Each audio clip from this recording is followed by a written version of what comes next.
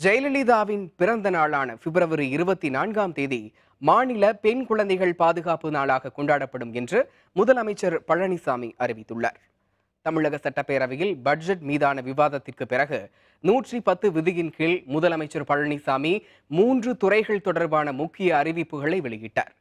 குறிப்பாக ஜெயலலிதா பிறந்த நாளான பிப்ரவரி இருபத்தி நான்காம் தேதி மாநில பெண் குழந்தைகள் பாதுகாப்பு நாளாக கொண்டாடப்படும் என தெரிவித்தார்.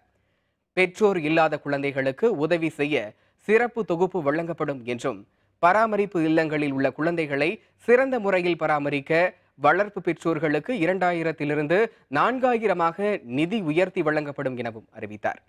ஆதரவற்றோர் இல்லங்களில் உள்ள பெண்கள் இருபத்தி ஒரு வயது பூர்த்தியாகும் போது அவர்களுக்கு இரண்டு லட்சம் ரூபாய் வழங்கப்படும் என்றும் தெரிவித்தார்.